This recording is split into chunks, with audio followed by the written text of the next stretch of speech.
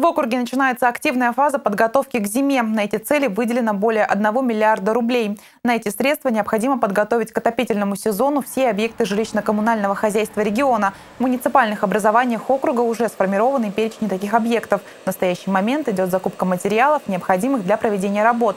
Основная часть мероприятий по ремонту и реконструкции коммунальной инфраструктуры запланирована на август. Муниципальным образованием и предприятиям необходимо провести работы по подготовке к зиме котельных, тепловых и электросетей, вода и газопровода, улично-дорожной сети, очистных сооружений. Некоторые населенные пункты в передовиках, то есть уже готовы к предстоящей зиме.